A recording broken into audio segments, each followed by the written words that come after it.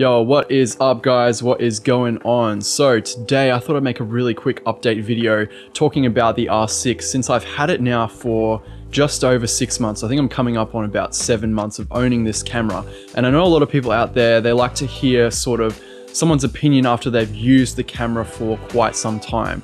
So I wanted to do that today, but I wanted to do a little bit differently and ask you guys questions. So I want to answer whatever questions you guys have as an owner of the R6 for now about six months. But before we do that, I'm going to roll some of my favorite photos that I've taken on this camera since I've owned it. So I hope you guys enjoy.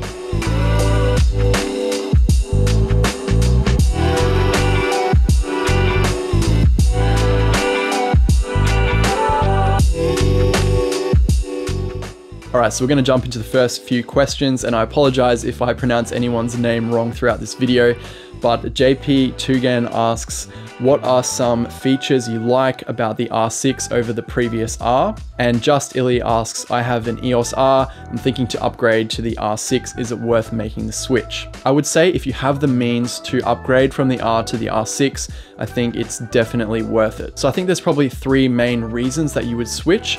The first being dual card slots. It's a really good idea to have two card slots if you're shooting anything sensitive like a wedding so you have an instant backup of your photos. Definitely the second one is the dual pixel autofocus 2. It has greatly improved on the R6 over the R to the point where I barely ever miss focus now with my R6. The third one is increased customizability.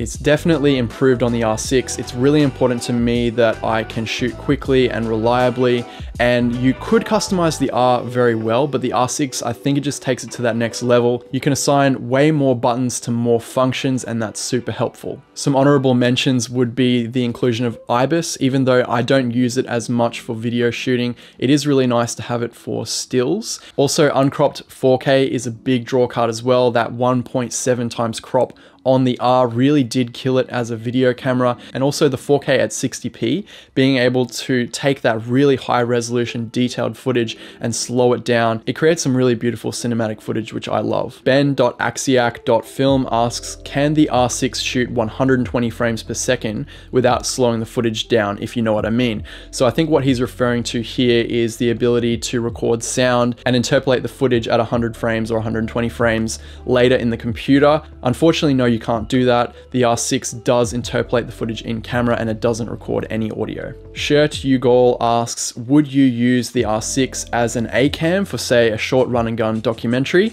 And I have to say yes, it is a very capable camera with a really, really nice image. You can rig it out to make it a little bit more flexible. The only really important thing to me that you'd be missing out on is maybe an XLR input. So if you have like a boom operator for your shoot, then, you know, obviously the R6 doesn't really offer that. So you'd be looking at more of an external uh, audio recording solution. Monish Rohira asks, how is the screen brightness in bright sunlight? To be honest, I've never really had an issue with the screen not being bright enough for me.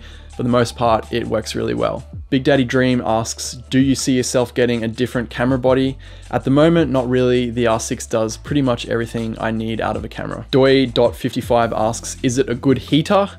Um, yes, it is a good heater. Wow, so North Borders has asked me a question. I've been looking up to this guy for ages, so it is really an honor to answer a question from you, Mike. Um, he asks, how come every photo you take with a Canon camera is shit? Um, or he must mean um, is the shit. Um, yeah. How come every photo you take with a Canon camera is the shit? Um, thanks, man. Yeah, um, it's a really good camera. And um, yeah, that's pretty much it.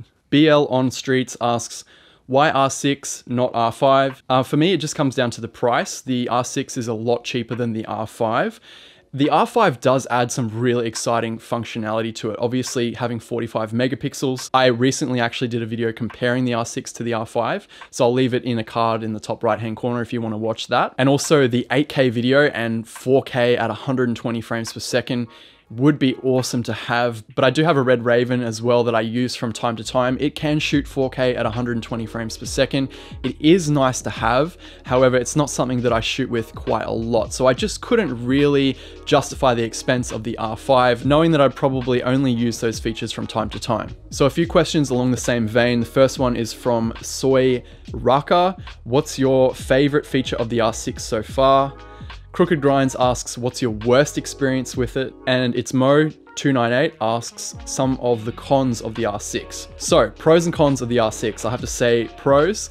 The dual pixel autofocus is definitely a pro. Uh, dual card slots for sure is also very helpful. The 20 megapixel sensor as well as the ability to shoot C-RAW for me is a big pro. I know that for a lot of people they want to have more megapixels which is totally fine but for me it just saves me on data costs like I just don't fill my hard drives and my SD cards up as fast as I would with a higher megapixel sensor that can't shoot compressed RAW. Definitely the video quality and the picture profile. So I love the C-Log, definitely it is a big plus of this camera, but the standard picture profiles of Rec 709 picture profiles just look so good straight out of camera and I think that's a big pro for me when shooting videos. Last on the pros list for me, and I've touched on this earlier in the video, is the customizability of the camera. The buttons and the dials can be assigned to so many different functions. So that's another thing that I really, really like. So now the cons list, and it's not huge, but there are definitely some things that I think could be improved on this camera.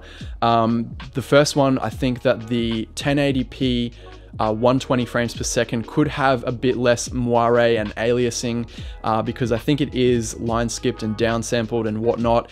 Um, it's just not as crisp and there isn't as much detail and when you dig in and zoom in on the file it doesn't look as good as the 1080 especially the crop 1080 and the 4K mode. Obviously the overheating I don't really have to say much about this it's been talked about to death but yeah I mean if this camera didn't overheat I would be much less stressed. But knowing that it has that limitation on it, and knowing that, you know, if you are shooting for extended periods of time, like right now, I'm at 13 minutes, um, and I am shooting in 4K 25p with the light codec. So as long as you're sort of thinking about that and you're keeping that in mind, you should be fine. Okay, so the last con, and this is something that's kind of been pissing me off for the last couple of months, but um, ever since I started shooting a little bit more on a gimbal, I wish there was a custom button for turning on and off the eye sensor. With a custom button, you can switch it to toggle between the viewfinder and the LCD screen, but there's no way to toggle it between eye sensor and LCD screen.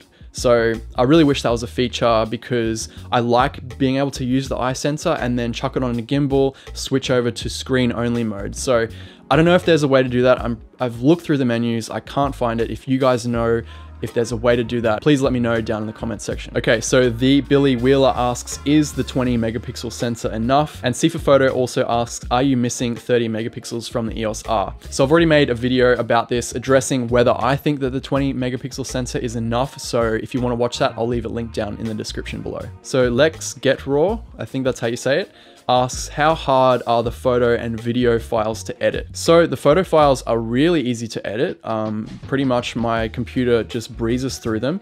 And because I have the new M1 MacBook Pro, the H.265 files, the log files coming out of this camera are really easy to edit. They just edit natively, uh, plays back really smoothly. So if you are in the market to get a new computer and you are shooting on the R5 or the R6 and you're dealing with this codec, I would actually recommend upgrading to this computer.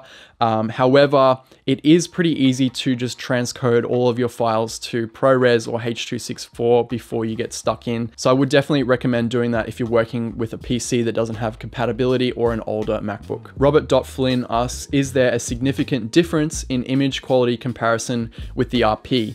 I would say not really. There is a slight difference between the two. I would say that the main thing is that the RP does kind of struggle in shadow recovery. So if you're shooting underexposed, the R6 is definitely the winner here. Keone asks, looking back, would you have bought this camera over what's on the market now? I think definitely yes. There isn't much else on the market that is enticing me at the moment. The R6 seems like the perfect all-round camera for me. JohnPond.io asks, how quiet is the electronic shutter and can you make it truly silent? It is very, very quiet. The electronic first curtain shutter is quiet as it is. And when I first tested this camera out, I made a note of the fact that the model that I was shooting couldn't really hear the shutter, whereas on the other cameras, they could sort of know when I was taking a photo and know when to change poses. And yes, you can make the camera completely silent. Aditya Photography underscore AP asks, does it overheat in 4K if used long time? Uh, the answer is yes. Ruby Lin asks, have your settings changed? If so, why? There is actually only one thing that I've changed since I made that video sharing with you guys my settings for the R6, and that is that I no longer shoot in electronic first curtain shutter. I use the fully mechanical shutter. I watched a video not too long ago that was kind of uh, showing the differences between the two, and I didn't notice this, but actually the bokeh looks a little bit weird when you use the electronic first curtain shutter. I think it does have some impact on the overall life of the shutter, so it's totally up to you, but I've switched over to using the mechanical shutter now. So that wraps up the video. I want to thank you guys once again for leaving all your questions over on the Instagram. If you want to be part of more videos like this, make sure you go over there and follow me. And if you have more questions, leave them down in the comment section below. I'll definitely try to help you guys out there.